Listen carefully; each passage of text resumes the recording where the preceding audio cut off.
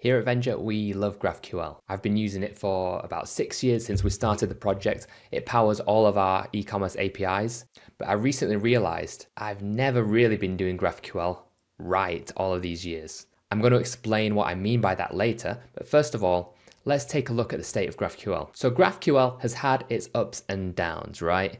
When it came out, it was released by Facebook. It was like the big hype, of course. We've got the peak of inflated expectations use it everywhere. REST is dead. All of these kind of things. Of course, people just shoved GraphQL everywhere that it wasn't needed. Looking at you, Gatsby. Um, you know, GraphQL front ends for your database, machine to machine communication, configuring things in GraphQL, whatever. Uh, it's the typical hype cycle, okay? And then, of course, what follows is the backlash. Hey, GraphQL's too complex. Only companies the size of Facebook actually need to use it uh, the overhead's not worth it, you can't cache it, all of these things. And the fact is, all technologies have trade offs, and the hype cycle is just the phenomenon of not realizing the trade offs. Then realizing that there are trade offs, and eventually you come to this plateau of productivity where the trade offs are well understood, and you can now finally sit back and say, okay, this is where it makes sense, this is where it doesn't quite make sense. All that said, for what we build in Vendure, which is highly custom e-commerce applications, GraphQL is a perfect fit. And I go into that a bit more in the documentation. Our very second page of docs is an introduction to GraphQL where we also lay out the arguments for why it makes a lot of sense in this case.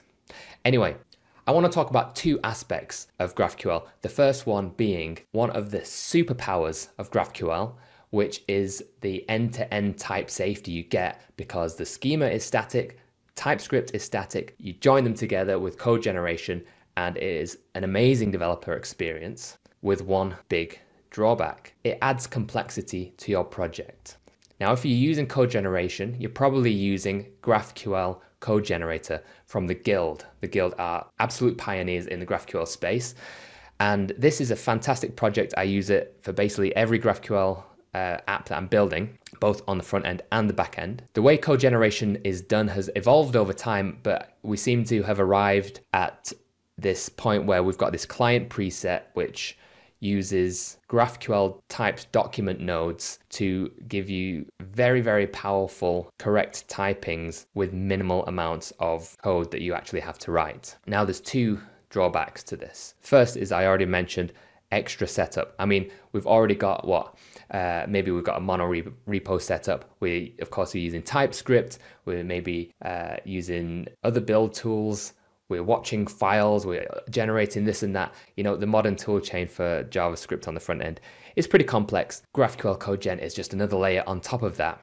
So that's one thing. It takes some setting up. Now, the Guild have made this as easy as possible. Uh, they've got CLI uh, tools to make it easier. But still, it's one extra thing to think about. Every time you change a file, every time you add a property to a query, a field to a query, you've got to run the code generation again. So it can regenerate your types now that it's got this new property on the type. Second thing is if you use this client preset, it's going to increase your bundle size. And I will show you what I mean by that. We can see generated code right here, which is generated by this client preset. And you can see we've overloaded this GraphQL function and it uses a kind of a hash, uh, a plain object where the key is the entire query or mutation or indeed fragment, and um, the value points to the actual document node. What this means in practice is that in your in your bundle, in your app, in the browser, these full strings are duplicated once in this hash object and once in the actual query itself. This is a known issue. Uh, they talk about it here in the docs, how to reduce bundle size. Uh, you can either split it up and lazy load, which is what I've been doing. But still, the you know this one right here, you see this bunch of documents is just scoped to a single portion of the app. It's I measured it; it's like 18 kilobytes it's adding. Um, so it's not ideal. Uh, you can reduce it by adding some more steps to your build pipeline with a Babel plugin or SWC plugin. But again, added complexity. Like, is there a way to have the benefits of the client preset, which is really, really convenient, but without having to regenerate types every time you change a document and without this problem with the increased bundle size? Yes, there is. I discovered recently a new project which is GraphQL Tada or GQL Tada. Every time I see the name, I think of this sound. Um, so this is a new project which aims to solve both of these problems, really, and more, which we'll get into. But it's uh, it comes from this repo from OhnoCo. Um, the people behind that are a couple of engineers of very high pedigree in the GraphQL community, Phil and Jovi. So thank you guys for bringing us this library. And GQL Tada sells itself as a magical GraphQL query engine for TypeScript. And in short, it passes your GraphQL documents inside the TypeScript type system, which allows you to get all the benefits of code generation without having to generate code each time you change your documents. Let me show you what I mean by this. So I'm actually using it right now in a real application I'm building. And we have right here is a um, Next.js app router app. We've got a, an account root and uh, in the page, we're getting hold of the active customer. So this is our GraphQL document right here. So as you can see, we're getting a bunch of different things, the address, the name, and then some organization data and some licenses. Now let's take a look at where we use that data. So as an example, right here, we're printing out the customer's email address. So I can use the auto completion to show that TypeScript is indeed aware of the properties that are available. So here's the cool thing, right? Bear in mind there is no code generation running at the moment. It's just TypeScript. If I remove or indeed comment out the email address and then head back over here, we see now there's an error. Property email address does not exist on the type.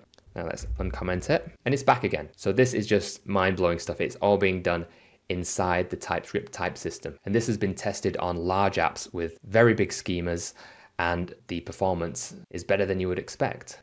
So this is the first thing I wanted to show you today, a much easier way to benefit from the end-to-end type safety of GraphQL.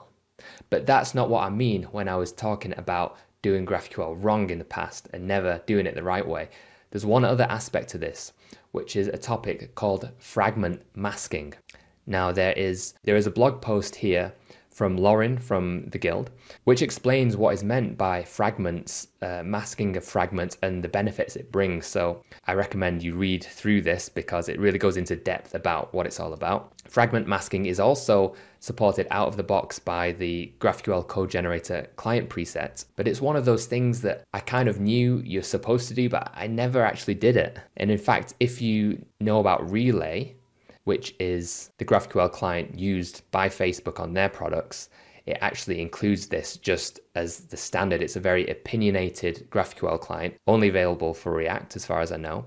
And it's had the reputation of being kind of complex to get started with. And for that reason, it never really took off in the way that some other GraphQL clients did. And as a result, the concept of fragment masking never really fully went mainstream. And I think there's a lot of GraphQL developers out there like me who've been doing GraphQL for a long time and have never really dug into this topic and appreciated the power of it until now. This is why I want to tell you about it in this video. So what is fragment masking? Well, I'll read a section out from the blog post. It says, instead of writing one big GraphQL operation for our whole page and passing that down to components, start with describing the component's data dependencies through a GraphQL fragment. This way, you're making the data dependency of your component co-located and explicit in the same way that you would co-locate the TypeScript definitions or CSS if you are using style components pattern. So, you know, in the front end world, this component architecture has completely become the accepted way to do things. You have your page as the root, and then you basically got a tree of components that fan out from there, and you compose them together to get the final view that's displayed in the browser. Fragment masking takes this approach and applies it to the data on the page. So let's say you've got an avatar component and it needs the first name, the last name, and the image. Those are the three data dependencies of that component. Using fragment masking, a fragment will be written which contains just those three fields on the user type.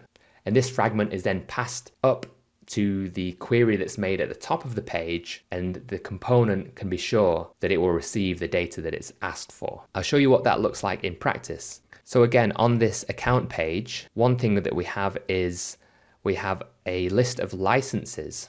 These are rendered by a license card component, which looks like this. It just displays like the product name, um, the order code, the status of the license, the date that the license starts and expires, and so on.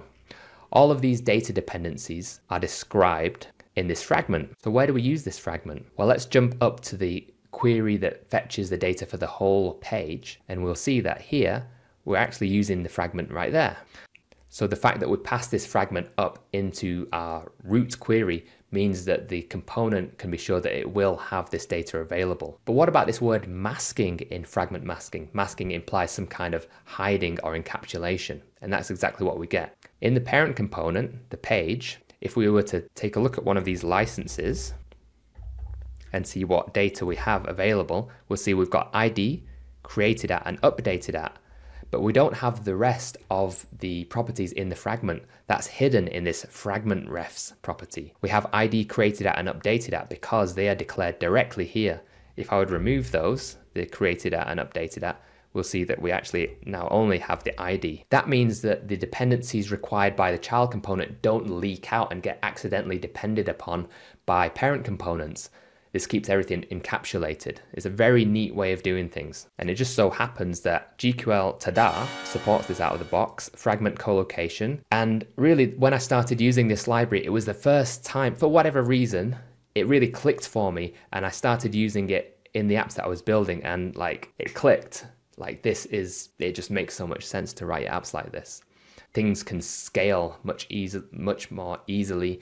Um, as you do perform refactors, you're going to run into less errors where components that have been moved around no longer get the data that they expect to receive because the data dependencies are packaged together, co-located, and move around with the component. And beyond these two aspects we've looked at, the code generation, fragment co-location, GQL Tada is also supporting more advanced features like persisted documents, multiple schemas, and the team working on this are continuously improving it. It's a really exciting project and I really think it's going to push the whole ecosystem of GraphQL forward. So if you're writing a GraphQL application, check this out, try it out in your next app and see if, like me, everything finally clicks into place and you start doing GraphQL the right way.